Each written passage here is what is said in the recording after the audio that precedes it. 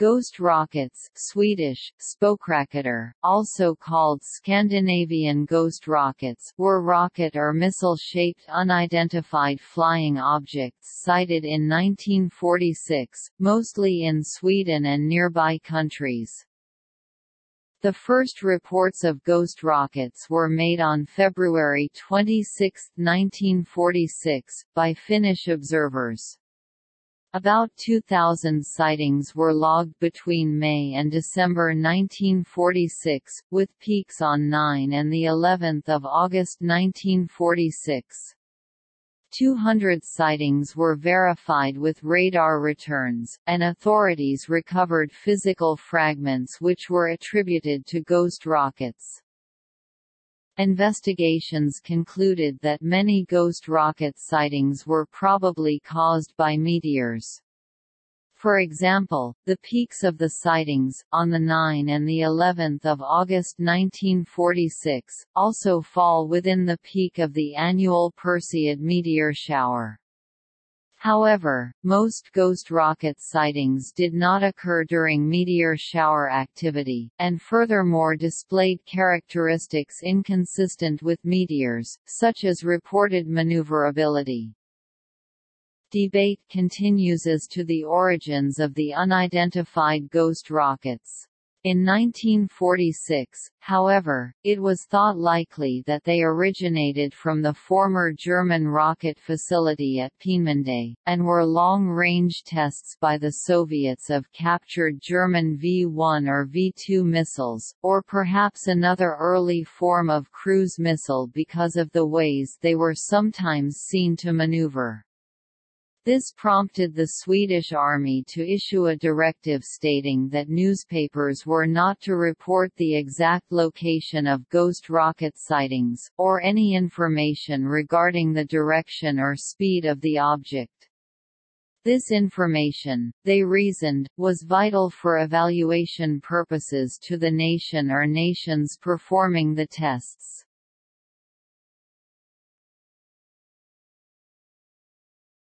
Topic: Descriptions and early investigations. The early Soviet origins theory was rejected by Swedish, British, and U.S. military investigators because no recognizable rocket fragments were ever found, and according to some sightings the objects usually left no exhaust trail, some moved too slowly and usually flew horizontally, they sometimes traveled and maneuvered in formation, and they were usually silent. The sightings most often consisted of fast-flying rocket or missile-shaped objects, with or without wings, visible for mere seconds. Instances of slower-moving cigar-shaped objects are also known. A hissing or rumbling sound was sometimes reported. Crashes were not uncommon, almost always in lakes. Reports were made of objects crashing into a lake, then propelling themselves across the surface before sinking, as well as ordinary crashes. The Swedish military performed several dives in the affected lakes shortly after the crashes, but found nothing other than occasional craters in the lake bottom or torn-off aquatic plants. The best known of these crashes occurred on July 19, 1946, into Lake Kolmjarv, Sweden. Witnesses reported a gray, rocket-shaped object with wings crashing in the lake. One witness interviewed heard a thunderclap, possibly the object exploding. However, a three-week military search conducted in intense secrecy again turned up nothing. Immediately after the investigation, the Swedish Air Force officer who led the search, Carl Gosta Bartoll photo right, submitted a report in which he stated that the bottom of the lake had been disturbed but nothing was recovered and that there are many indications that the Kolmjarv object disintegrated itself. The object was probably manufactured in a lightweight material, possibly a kind of magnesium alloy that would disintegrate easily, and not give indications on our instruments. When Bartoll was later interviewed in 1984 by Swedish researcher Klas Svahn, he again said their investigation suggested the object largely disintegrated in flight and insisted that, "...what people saw were real, physical objects." On October 10, 1946, the Swedish Defence Staff publicly stated, most observations are vague and must be treated very skeptically. In some cases, however, clear, unambiguous observations have been made that cannot be explained as natural phenomena, Swedish aircraft, or imagination on the part of the observer. Echo, radar, and other equipment registered readings but gave no clue as to the nature of the objects. It was also stated that fragments alleged to have come from the missiles were nothing more than ordinary coke or slag. On December 3, 1946, a memo was drafted for the Swedish Ghost Rocket Committee stating, Nearly 100 impacts have been reported and 30 pieces of debris have been received and examined by Swedish National Defence Research Institute FOA. Later said to be meteorite fragments. Of the nearly 1,000 reports that had been received by the Swedish Defence Staff to November 29, 2025 were considered observations of real physical objects, and every one had been seen in broad daylight.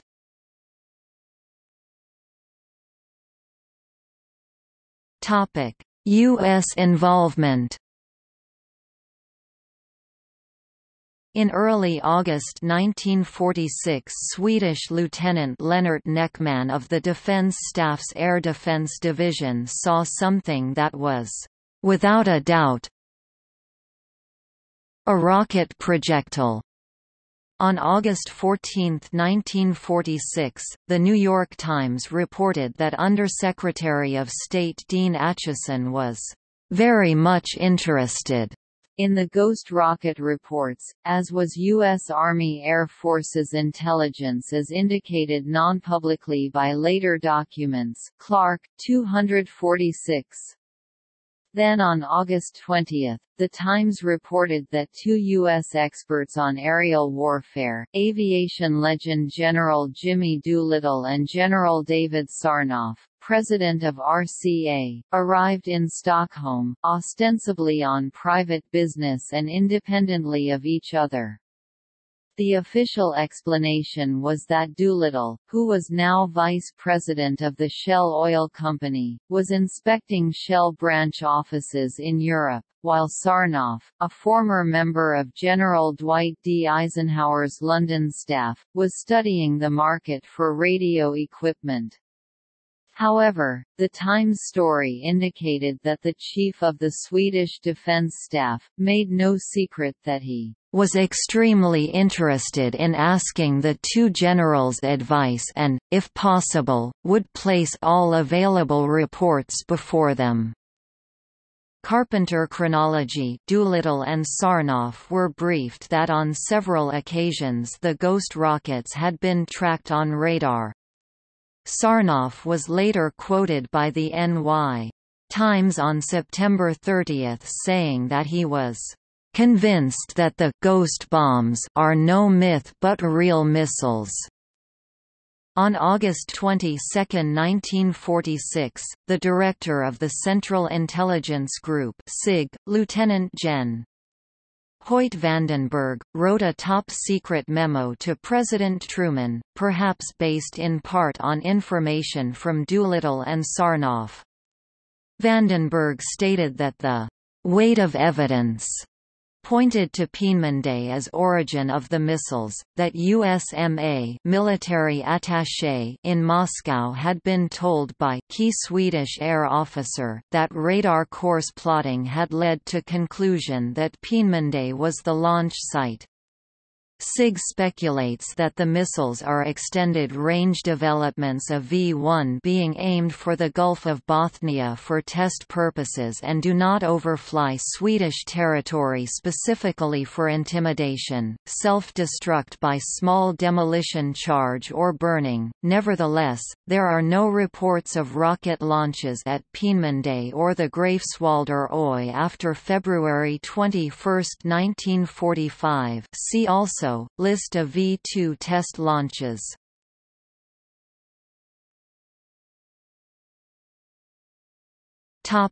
Swedish military opinion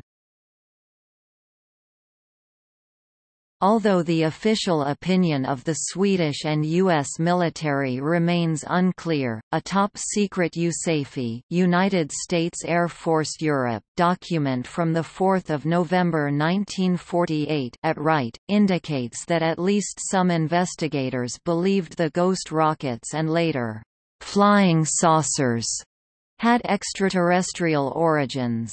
Declassified only in 1997, the document states, for some time we have been concerned by the recurring reports on flying saucers. They periodically continue to pop up. During the last week, one was observed hovering over Neubiberg Air Base for about 30 minutes. They have been reported by so many sources and from such a variety of places that we are convinced that they cannot be disregarded and must be explained on some basis which is perhaps slightly beyond the scope of our present intelligence thinking.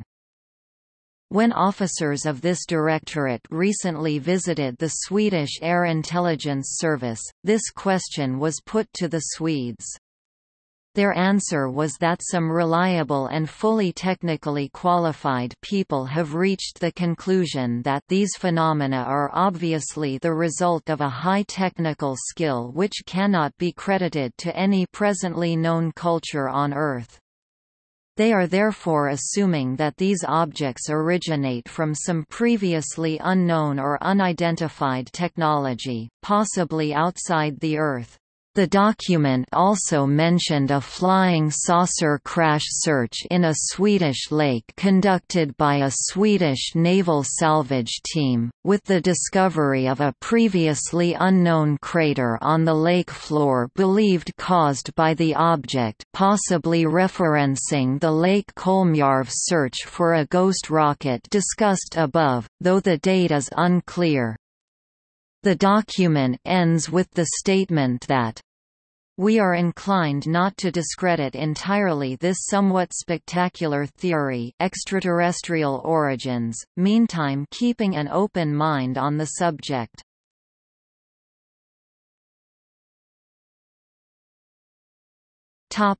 Greek government investigation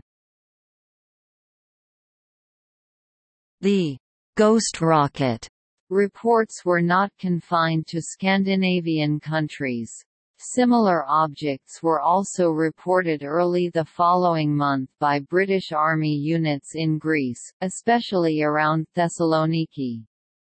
In an interview on September 5, 1946, the Greek Prime Minister, Konstantinos Tsaldaris, likewise reported a number of projectiles had been seen over Macedonia and Thessaloniki on September 1.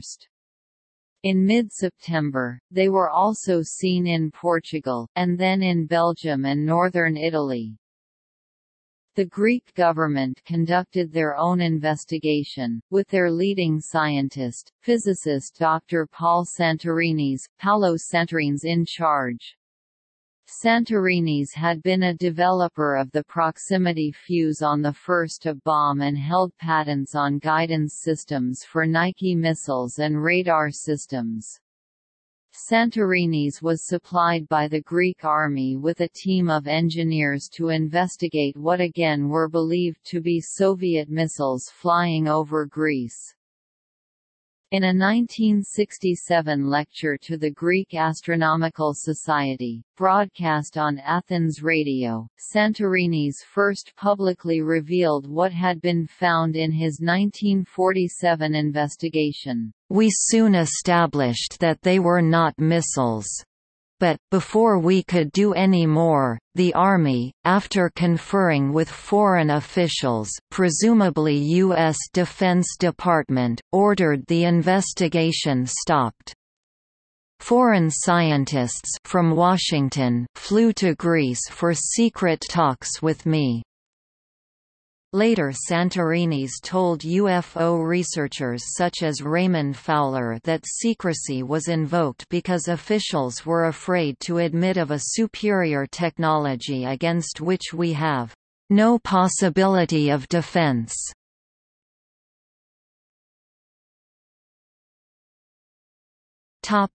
See also